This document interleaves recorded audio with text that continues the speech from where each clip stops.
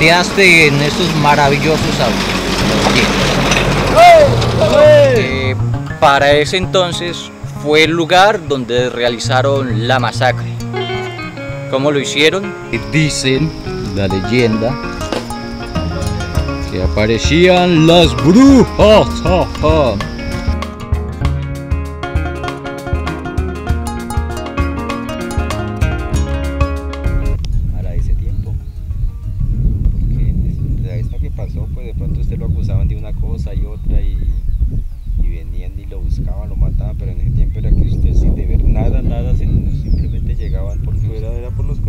Bandera, si usted era rojo o azul, y si lo azul lo encontraban con una cosa roja, era Tommy J. Chao.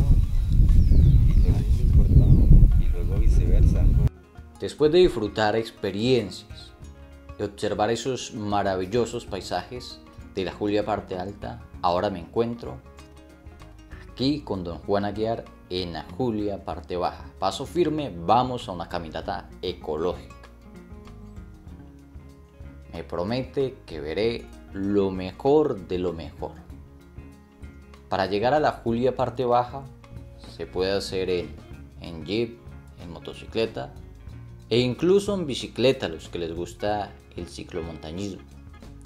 Una vez llegas acá, te atienden con un guarapo de caña delicioso y si te animas, puedes hacer este recorrido. No, que dicen que, que eso hay un fondo, un fondo, un fondo que es que tapado con otro, despejaron los indios ahí. Y eso ahí le han hecho harto a eso. Está hablando de una huaca, porque se presume que los indígenas enterraban las huacas en lagunas y montañas. Y la quebrada pasaba por encima y botaba así. Pero mire, ahora no se sabe dónde quedó. Pero esa no es, esta no es. Era otra más grande. No, no le digo que esa venía como en dirección de esa piedra así y llegaba esta, el picacho salía acá, a esa curva, a ese palo. Que nosotros, eso dice que hace ya ya que nos bañábamos ahí sobre el chorro que caía. El paisaje ha cambiado y según cuentan, con las crecientes de la quebrada, hasta el Muan se ha quedado sin casa. Sin embargo, hay algo innegable y es que este paisaje es hermoso.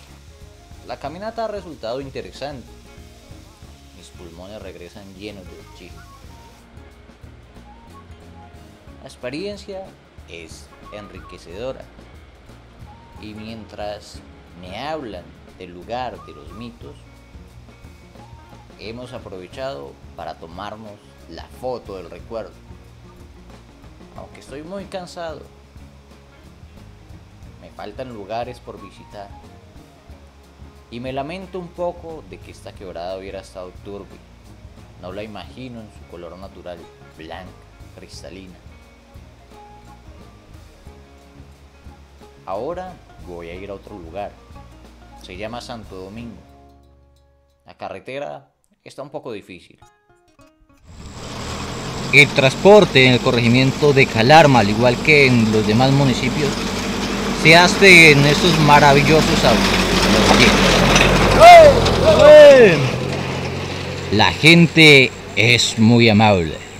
Siempre van a saludar de un grito. No es que te estén regañando, que te estén... Simplemente dicen, ¡Oye! Es su forma de saludar. Aquí al fondo puedes observar lo que sería la actual escuela de Santo Domingo.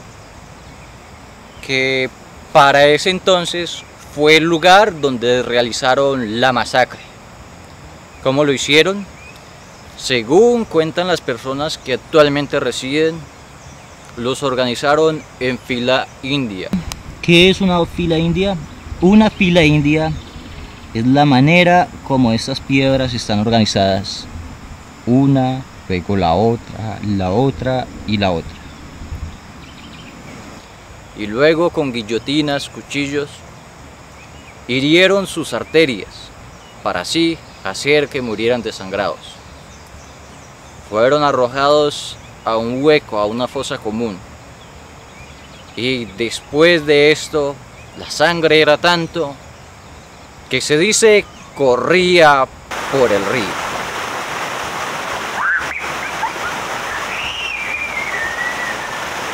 Esta es la historia de la masacre de Santo Domingo. Historia que espero jamás se vuelva a repetir.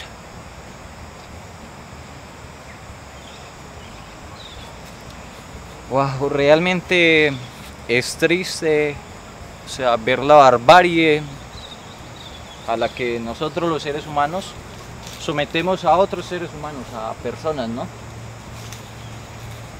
Triste.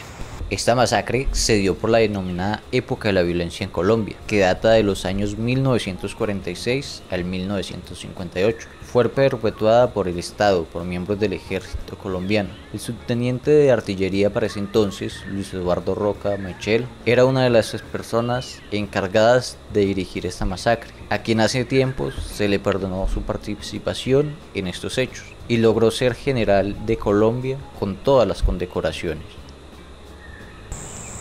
El miedo hizo que muchas de las personas que habitaban en Santo Domingo huyeran.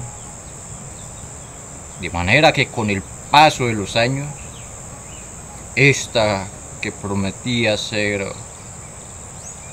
una población bastante pujante, quedó convertida en potreros. Estoy llegando a este lugar ubicado en Santo Domingo un mítico lugar donde dicen la leyenda que aparecían las brujas y debajo de este árbol hacían sus danzas. En tiempos antiguos esto era completamente diferente. Algo que nos cuenten de lo que le contaron a usted sus abuelos. Pues esto anteriormente era un solo, un solo bosque y estuvo aquí, ahí supuestamente en ese árbol era donde las brujas, las brujas embolataban la gente, a cualquiera que pasara por ahí tarde de la noche porque esto era la, por donde pasaban los de Ronces, las muladas de Roncesvalle en el tiempo antiguo. Entonces ahí ese es el árbol de los mitos y todavía existe. Esto es la tradición y la cultura oral de la gente que ha circundado o ha pasado algún día por la vereda Santo Domingo.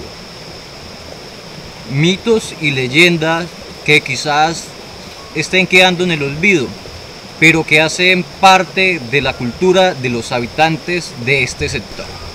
Este es el majestuoso árbol. O sea que ese árbol tiene cuántos años, más de 500, 200, 300? Ay, hermano, pero... Por ahí así. La violencia fue en el... ¿qué? En 1900... No, y ya eso era árbol. Eso debe tener más de... ¿Cuánto le pone usted?